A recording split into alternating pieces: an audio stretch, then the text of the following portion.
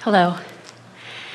I asked a question on the Caribbean cruise about suicide, and what I realized is that I still had another question. So I'm really thankful to be here today without trying to be so nervous. I've been trying to attract a relationship into my life with a partner and have listened to your words and still. Well, let's use different terminology. Instead of saying, I've been trying to attract a relationship, let's tell it like it really is. I'm trying to stop holding the relationship I've already created away from me. That's more accurate because I've created it incrementally, but now it's bright and shiny and it's in vibrational escrow. And the universe is doing everything in its power to bring it to me, even though I'm keeping it apart by doing that thing I do that is always pronounced by negative emotion. So, what kinds of things are you doing that is holding it away, other than noticing that it hasn't come yet? Well, that'll do it.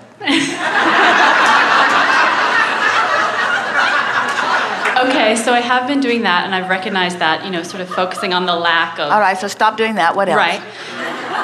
I'm also in psychology, and just really feeling at times that there's a core belief that I'm not worthy of that, that I'm not worthy of a relationship that I can conceive in my head that is so wonderful and so amazing in every way.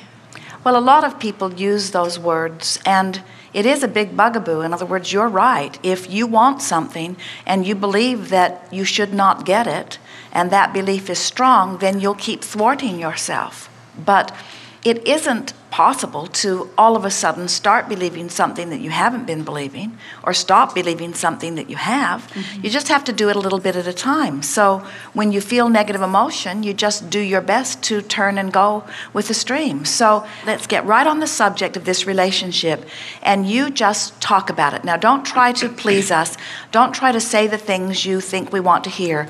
Just talk like you usually talk about it. And we'll all make fun of you.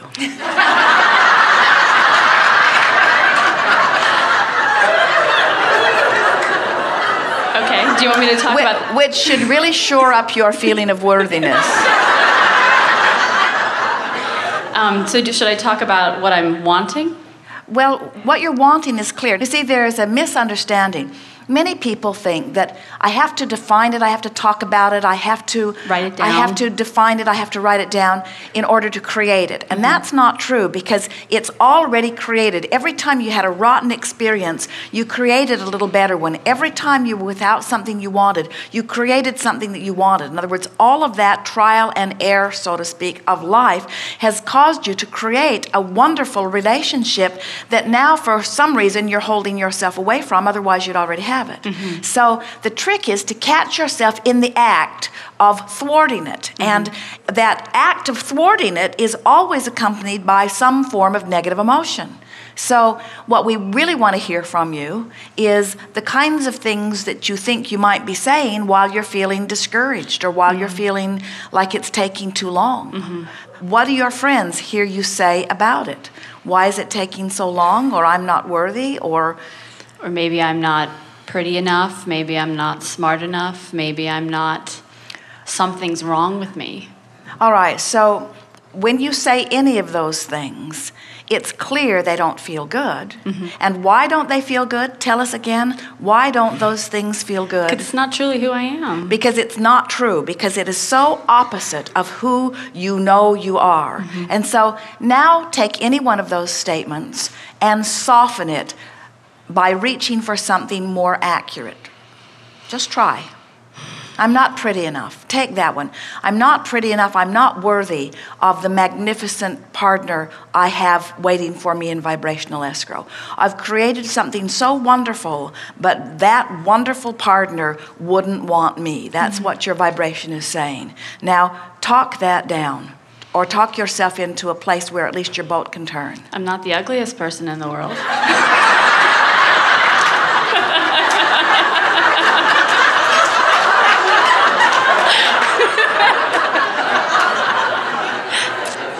right? You're the worst person in the world. Actually, that was pretty good. Yeah. That's pretty good. In fact, what else? Um, I'm working very hard on myself in developing a career path that I'm very happy with. What do you think? Can you see her? Isn't she? Thank you. Not only are you not the ugliest person in the world, you are magnificently beautiful. Thank you.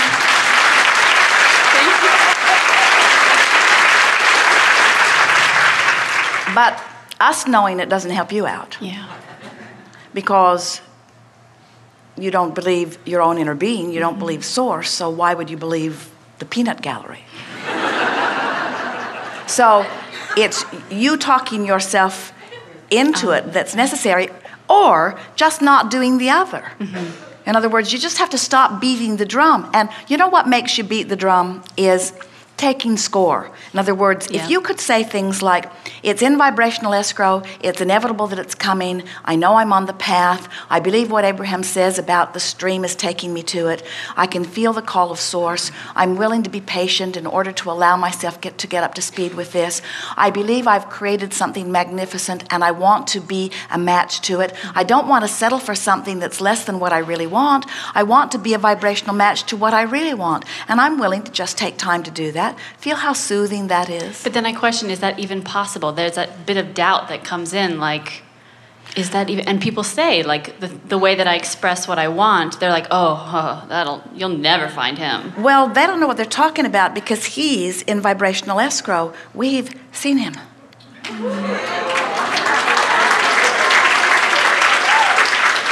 Can you give him my number?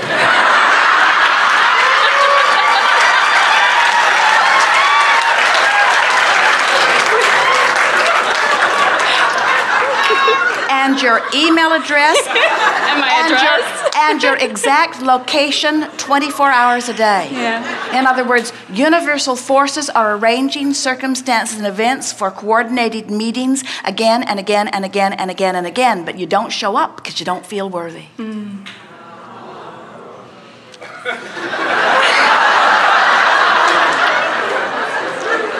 And we'll never stop arranging it. In other words, we'll never grow tired. No one here ever says, 4,875 potential rendezvous and she hasn't come yet. Should we stop? So In it is other words, possible. the rendezvous. I'm sorry. I, People say, well, uh, I missed the boat. And we say, there's another, another, another, another, another, another, another, another, another. In other words, there's no end. There are 20 or 30 viable rendezvous points in every day for everything you want. Mm. And the better you feel, the more you line up with them. The worse you feel, the more you zig while they zag. So what does that stir within you? Now you say, Hope. Oh, is it you? Is it you? Is it you? Is it you? Makes you sort of mad. And so now we want you to understand that your work is not to make it happen, your mm-hmm. work is to let it happen. And you let it happen by possibility thinking, not by negative thinking, by hopeful thinking, not by doubtful thinking, by believing that it will come not, rather than doubting it will come, by talking yourself into feeling good, by reading the fairy tales, by mm-hmm. acknowledging the well being, by not listening to the people who don't have what they want, but listening to the people who do have what they want. Go up to every couple you see who obviously are living happily ever after and say, Tell me your story of how you came together. Mm. And listen to the incredible tales that they will tell you Yeah. of how the universe arranged their rendezvous. And it will make you begin believing in the possibility of rendezvousing as they tell you the variety of things. There's no one right path. There are endless paths, and the universe is so clever in the way that it orchestrates things. And all you have to do is say, I'm ready. I'm ready. That's the thing that we can feel within you that's been keeping you from letting it happen. Now, you've created this masterpiece of a relationship and this masterpiece of a partner, and every day you say, I'm not ready for that. I'm not ready for that. I know it's good, but I'm not ready for that. It's time for you to say, I'm ready for that. I'm ready. You are. You're ready. I'm ready. You are ready. I'm ready. So you've seen him.